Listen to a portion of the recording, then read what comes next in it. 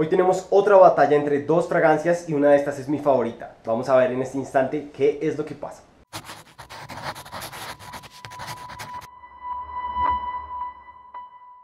Hola, mi nombre es Alejandro y hoy tenemos una batalla y es una muy importante batalla porque no solo participa CH Men Privé, una de mis fragancias favoritas, sino mi fragancia favorita definitivamente, de la casa de Carolina Herrera contra Jean Paul Gaultier Essence de Parfum. Una fragancia que todo el mundo en la comunidad la compara con esta. No solo vamos a tener batalla entre estas dos fragancias, sino que nos está acompañando Narciso Salazar, un reviewer de Argentina. Me encanta su trabajo y me encanta estar colaborando con él. Vamos a ver qué es lo que tiene que decirnos él sobre la Jean Paul Gaultier. Narciso, vamos contigo. Hola Ale, bueno, muchísimas gracias por permitirme hacer, hacer una colaboración con vos y por darme este espacio en tu canal.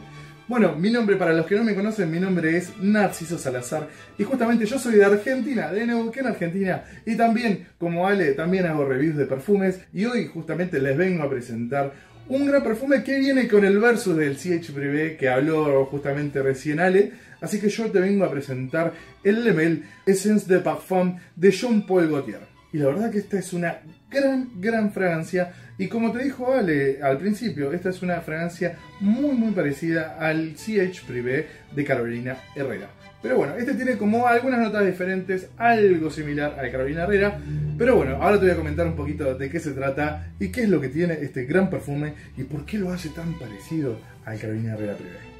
Esta es una fragancia que se lanzó en el 2016, así que es relativamente nueva, no de las últimas, no de, las últimas eh, de la colección de Jean Paul Gaultier, pero es una de las últimas. Y la nariz detrás de esta gran fragancia es Kentin Bish. Y te voy a comentar un poquito lo que es el perfume en sí. Las notas que componen a esta gran fragancia. Las notas de salida es el cardamomo, la bergamota, el agrotano y la pimienta. Las notas de corazón es la lavanda, el cuero, la canela y la salvia. Y las notas de fondo son caña agria, amberwood, cumarina, vainilla y almizcle.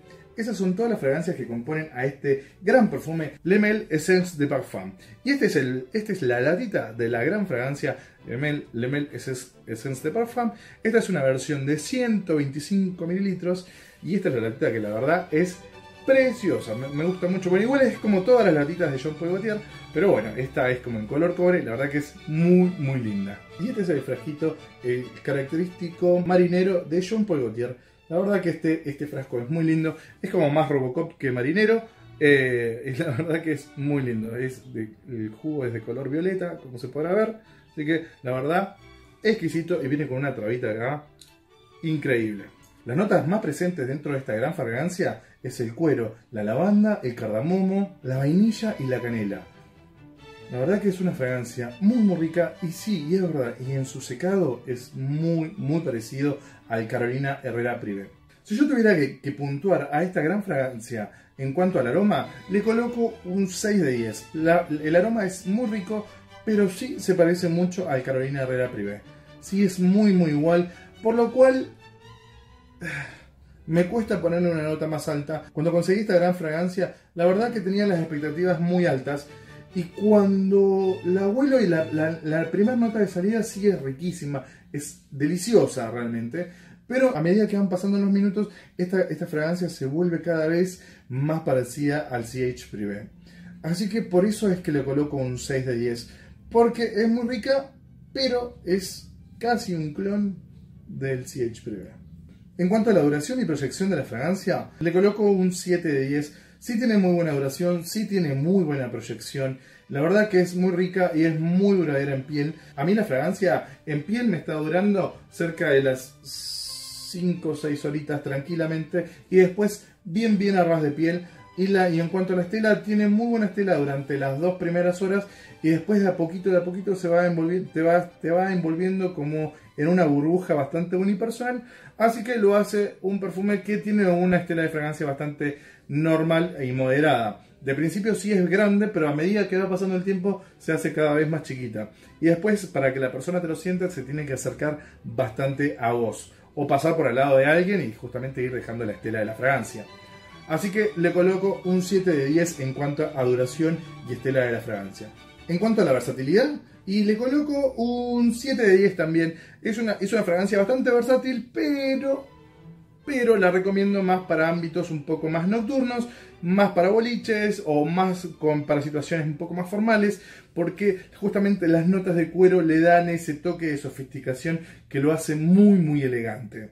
Así que lo recomiendo más como para, no sé, como para salidas románticas, como para, eh, no sé, para ir a un evento formal, para un casamiento. Eh, va a vas a quedar muy bien con, con esta fragancia bajo esos ambientes para desenvolverte.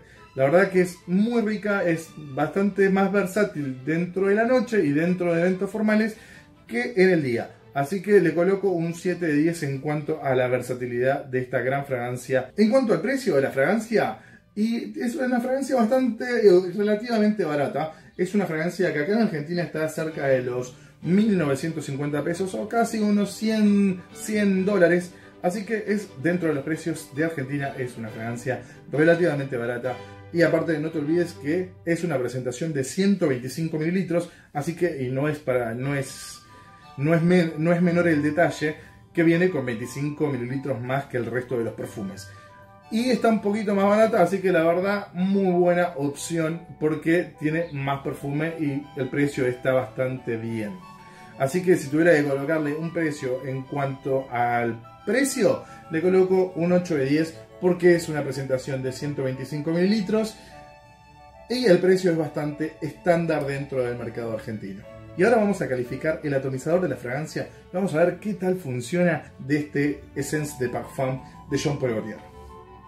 Vamos a sacarle la trabita que es muy linda. Sacarla. A ver qué tal. Vamos despacito. Bien. Vamos fuerte. Bien. Muy bien, muy buen atomizador. Así que un 8 de 10 al atomizador de esta gran fragancia. Perfume es realmente exquisito, muy, muy, muy rico. La verdad que es increíble el perfume este. Así que altamente recomendado. Así que ahora vos sos el encargado de decidir si te compras el Essence de Parfum o te compras el CH Privé de Carolina Herrera. Así que bueno, Ale, muchísimas gracias, muchísimas gracias por dejarme ser parte de esto. Te mando un saludo muy grande desde Argentina, desde Neuquén, Argentina, hacia Colombia. Así que muchísimas, muchísimas gracias. Y nos vemos pronto, gente. Eh, abajo está mi canal, por si se quieren suscribir, por si quieren pasar a ver también mis reviews. Así que muchísimas, muchísimas gracias. Chao, gracias. Ok, esa fue la opinión de Narciso. Muchas gracias por tu colaboración en este video. Ahora vamos a ver de qué se trata CH Privé, cómo se compara contra la Jean Paul Gaultier Essence de Parfum. CH Privé en cuanto a longevidad se queda con una calificación de 7 sobre 10. No es muy muy buena longevidad. Digamos que mi piel dura entre 5, 6 horas máximo. Digamos que 7 horas máximo. En cuanto a la proyección, monstruosa la proyección de esta fragancia. Yo le pongo un 8 sobre 10. Las dos primeras horas va a proyectar la distancia de un brazo fácilmente en exterior con viento.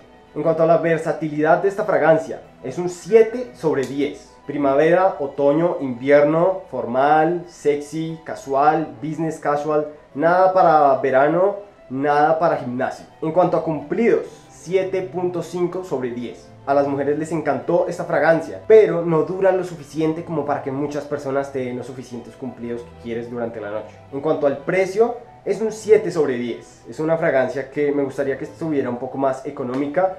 Acá en Bogotá la pueden conseguir por 170 mil pesos los 100 mililitros. Me gustaría que estuviera un poco más abajo ese precio, pero igual por la originalidad del aroma, definitivamente la recomiendo. Y en cuanto a la presentación, aquí es donde me encanta calificar a esta fragancia. Tanto la caja como la botella, en mi opinión, se merecen un 9.5 sobre 10. Teniendo en cuenta que esta fragancia tiene whisky, parece una botella en la que uno bebería whisky, súper sofisticada, el color es sensual, va muy acorde al tema, al privé, al privado, a ese exclusivo que tiene. Me parece que es perfecto la combinación entre aroma y presentación. 9.5 para esta fragancia. Y bueno, ya se pudieron hacer la idea viendo la comparación, haciendo la comparación entre estas dos fragancias. La fragancia ganadora es Carolina Herrera CH Privé, mi fragancia favorita. Me alegra bastante que gane. Muchas gracias a Narciso por tu colaboración. Espero les haya gustado este video. Compártanlo con personas que crean que les puede llamar la atención y nos vemos en el próximo. Bye.